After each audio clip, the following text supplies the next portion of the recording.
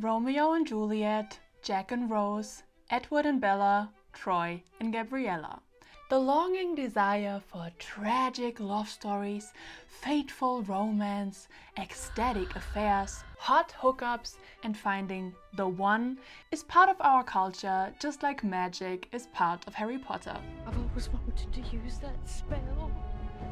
You can't imagine it without it. And I get it. The feeling of falling in love is magical. Having a supporting and loving partner is beautiful. But what if you don't want to just hook up? What if you don't find the one? What if all you find is yourself? I don't have like even kind of a boyfriend. Not even kind. I don't have someone that I'm texting that's a guy that might someday be my boyfriend. There's like nothing going on right now. That's pathetic. What are you looking for in a man now to wear this cologne? I'm not looking for a man. Let's start there. Hi. Everyone. How you doing? My name is Svenja, aka Svenorita, your German senorita, and this channel right here is a safe space for you and me to be okay with who we are and to be cozy, compassionate, and comical. Never underestimate the power of alliteration, my friend. And first of all, I've got a question for you, beautiful, amazing person watching this video. You might be single, you might be in a relationship, but have you ever experienced a situation like this? Oh, hi Dolly, hi Vernon. Svenja, nice to see you. How are you doing? I'm doing well, just working on an interesting project and how's your love life? I'm single. You're single. Oh, well, I'm sure you'll find someone soon. How come someone as beautiful and nice like you is still single? Maybe you're just too picky, you know? Your expectations are way too high. You know, you should speed it up a bit. Once you're over 30, no one will want you anymore. How do you want to become a parent when you don't even have a partner? you know, my son's friend has a carpenter who has a friend who has a dog who is friends with another dog whose owner is pretty nice. Well, Actually, I'm. and he's your age. Do you want me to set you up? Oh my god! Three hours later. Wilfred, hi, this is Dolly. There's someone you've got to meet. Oh God, please, no! No! No! Hi. If you have experienced a situation like this, let me tell you, you are not alone. I've been there hundreds of times, and so have many other people. Am I cloaked in loneliness or something? Everybody has been pestering me about my love life. I've honestly felt so much pressure growing up, being single, and just within the past few years, I've learned to see through the societal pressure and I realized that there's nothing wrong with me just because I'm not in a relationship. I really, really wish I would have watched a video just like this when I was younger, so I really hope it can help some of you out there. So let's talk about how our society treats relationships and being single. Let's get down to business. Chapter 1 Media Madness. All the time, we are told and shown that there must be something wrong with being single. Oh, this sucks! Especially media, music, and pop culture make us believe that being single is weird and that life as a single is lacking something and is less valuable. Being alone sucks! It starts in childhood with Disney movies in which the happy end mostly involves the princess finding her prince. Then, of course, there are Hollywood movies and rom coms in which, again, it's all about finding the one. And of course, the happy end always involves two people made for each other, finding each other, because that's the only way to have a happy ending, right? You can't be happy on your own. I'm hopeless and awkward and desperate for love. Then it goes on to music, where a majority of songs are about romantic and sexual love. I mean, just take a look at your Spotify playlist or whatever playlist you listen to, or the charts or whatever, and you will probably find that most of the songs on there are about romantic and or sexual love. Even songs we thought, or at least I thought, were single anthems, like for example Single Ladies by Beyonce, aren't in fact. I mean, in it she sings, put a ring on it. So she basically also just wants to get married. And it also plays a huge part in trash TV shows like The Bachelor and The Bachelorette, Prince and Princess Charming, Love Island, and Are You the One? in which the ultimate goal is finding the perfect partner, the perfect match, and those who don't want to settle for the next best thing, who they know won't make them happy anyways, lose and have to leave. It's a comedy for the masses. Thus, romantic love is portrayed as the ultimate key to finding happiness and winning in life. I think we all grew up hearing those narratives. Get married, get a partner, and you will live happily ever after and never be lonely again. The relatively new Netflix show Singles Inferno literally takes this to a next level. It portrays dating and being in a relationship as paradise, whereas being single is supposed to be like hell. Wow, I could so easily freak out right now. Then there are also series and movies which portray this pressure that society puts on single people. For example, Holidate and Home for Christmas show how the single protagonists are pressured by their family and friends for not having a partner, especially during Christmas time. Home for Christmas also portrays the systematic discrimination the single protagonist has to face. The Christmas pajamas are only available in a double pack for couples and at her job as a nurse, she has to work the holiday shift so that her colleagues in a relationship can enjoy some romantic time with their partner. But this pressure and this systematic discrimination single people have to face is not just part of music, media, and pop culture. To put it quite dramatically, it's bitter reality. Welcome to the real world! It sucks! You're gonna love it. The term for this is called single shaming. Let's dive into this. So, the Urban Dictionary defines single shaming as making middle aged adults who have chosen to remain single feel like freaks.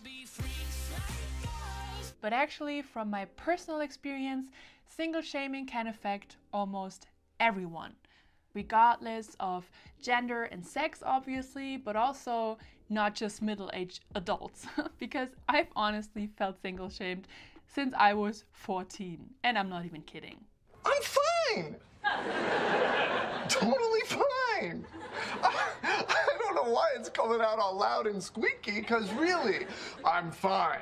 And in my view, it can also affect single people who are involuntarily solo. More people than ever are single nowadays, and with the pandemic, it's still on the rise. And still, society often discriminates against being single. The hell with society. Being single is acceptable as a phase. Maybe as a transition between two relationships and optionally a preparation for a partnership. But it is frowned upon as an independent, self chosen, permanent way of life. Let's just quickly look at some of the most common single shaming phrases. Please let me know in the comment section which of these you have heard and experienced before. Here they are, the top 10 most common single shaming phrases heard by singles. My favorites are definitely one, you'll find someone soon. If I had a dollar for every single time someone said that to me, I'd be Elon Musk level right now. Then three, I can't believe you haven't met anyone yet. Are you dating? Uh, no, I'm not dating. Really? There's no one at all? No, I'm totally single. Then seven, seven, seven, seven. Seven.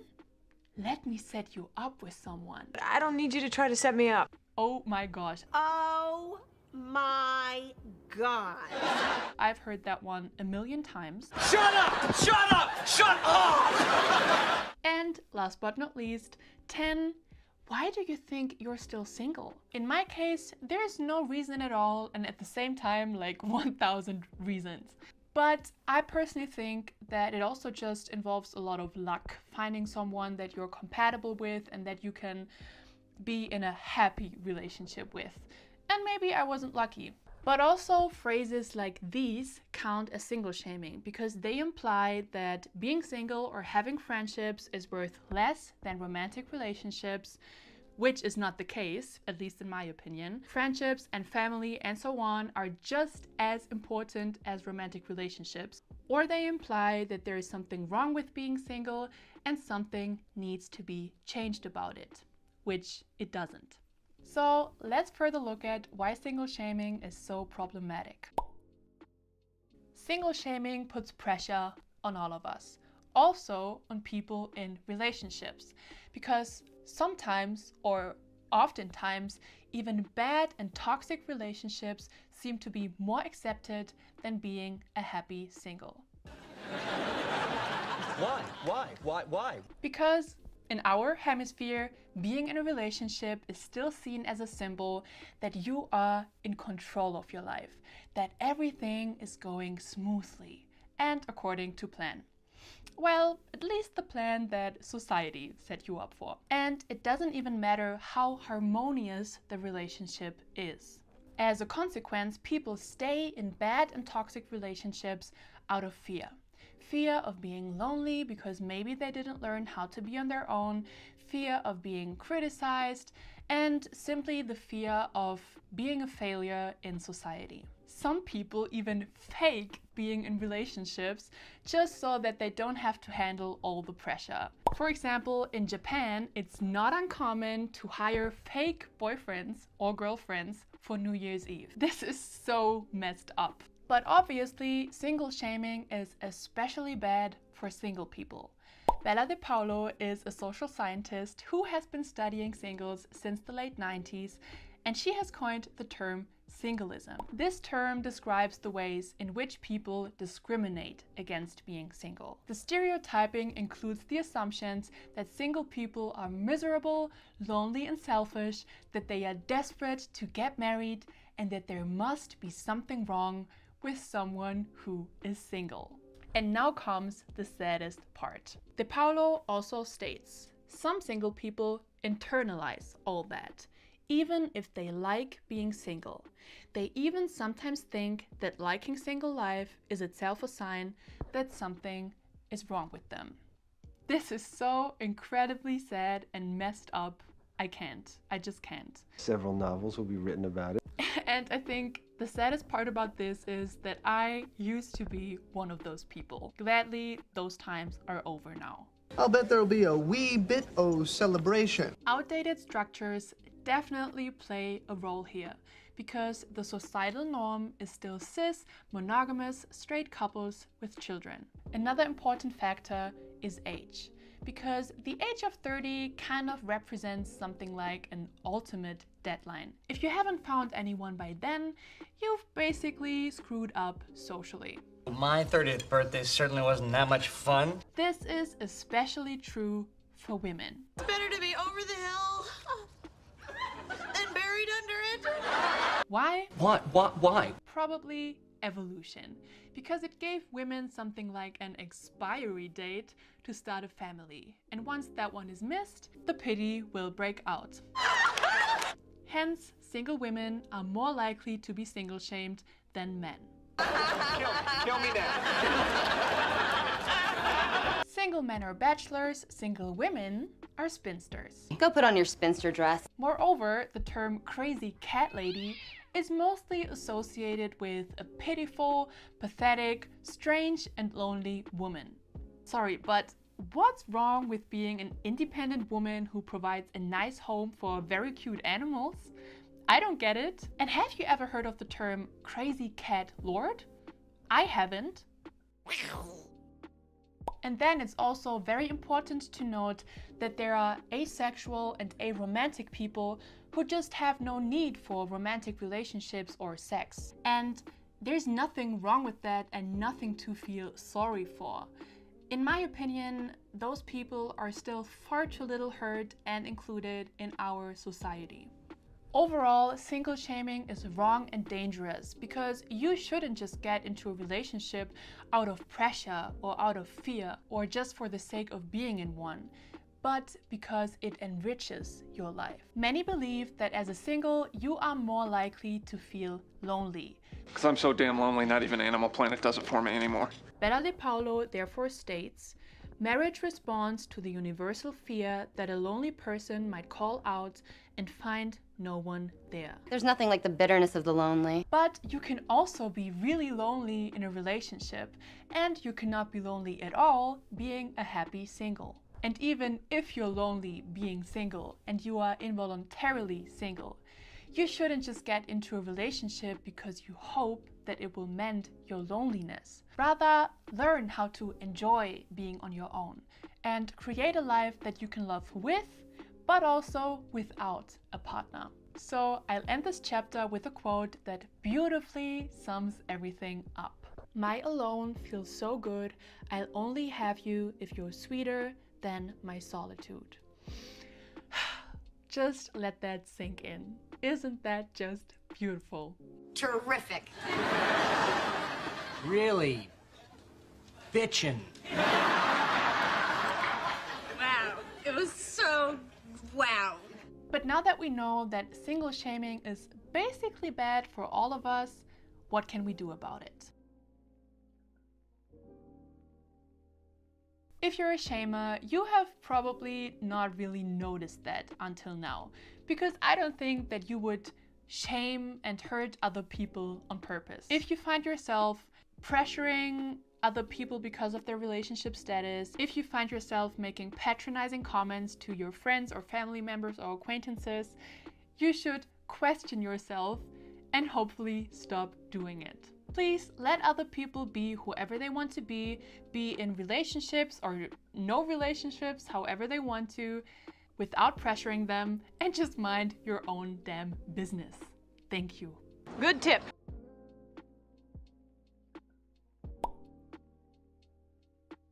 Let's start with the mindset thing. You might be the only single person in your social circle, and all your friends and family members and acquaintances and so on are in relationships. And even though you might be a happy single, because of that, you might sometimes feel a little weird about being on your own. Believe me, been there, done that. What I always do in such a case, or what I do in general, is I look at the relationships around me and I ask myself, would I want to be in those relationships? Would I want to give up my sweet solo life in order to be in a relationship like that? Believe me, in the vast majority of cases, the answer is a definite no. No! And by that, I don't mean to like talk in a bad way about other people's relationships, but their relationships are mostly not those kind of relationships that I would want for myself and that I would be happy in and thrive in. So, what about you? Look at the relationships around you. Would you really want to be in those kind of relationships? Answer it for yourself. Keep in mind, when most people single shame, they don't mean that in a bad way. They are probably just a victim of society's weird perception of being single. And maybe it's just their way of showing that they care about you and your dating life in that sense. So just keep that in mind that most of the time people don't single shame in order to hurt you or shame you. But then we come to number three. Just because they don't mean it in a bad way doesn't mean they should keep doing it. So communicate openly and respectfully that single shaming is inappropriate and doesn't help you or anyone else in any way. But when you're doing that, avoid making self deprecating statements and instead speak positively about your life. Because you want to show others that there's no shame in being single and that they don't need to pity you or shame you or set you up with someone and that you are okay the way you are. This is just a reminder for you because maybe you just need to hear it. You don't need to justify your love life. So it's totally okay if you don't speak about it at all or if you give vague responses. Stand by yourself and your singleness. We, single people, need to show the world that there is no shame in being single. So it's important for us to take action. I want action, not words. We should not hide about being single. We need to express our needs more, we should be more open with our feelings, and we should definitely support each other. So you just gotta jump in and be scared and stick with it until it gets fun. We must show people that being single is just another life path that should be equally accepted and that single shaming is not okay. So please speak up, be open about your status, and stand by yourself and your singleness. We are all in this together.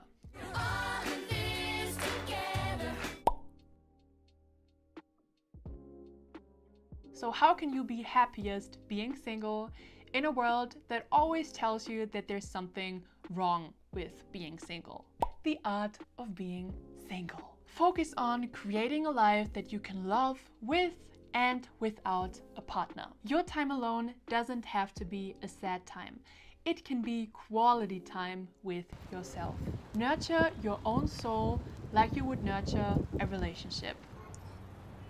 Loving this. I know this sounds incredibly cheesy, but it's also incredibly true. So hear me out. Start now. Don't wait until you have a partner to build that house, to buy that dog, to go traveling, to go try out that new amazing restaurant at the corner. Start now. You don't need a partner to do all those things. You can do all of that on your own. For example, you can go solo traveling. I've done it before and it's really cool. You learn a lot about yourself. You don't have to make any compromises. You can go wherever you want, eat whatever and whenever you want. It's really cool. So if you haven't done it before, please try it out. Don't wait for anyone to make you happy. Do it on your own. Treat yourself as you would a partner you love. Buy yourself that gift, buy yourself that nice dinner, soothe yourself. Because you are the most important person in your life and you should treat yourself like that. You know, even if you find a partner one day, he or she or whoever may leave. You are the only person who will always be around. So you should be in a great relationship with yourself, and that should be the most important relationship. And you should nurture it and strengthen it and build it and just be very kind to yourself. And here are some other ways to treat yourself as you would a partner you love. You can treat yourself mentally, your body, and so on.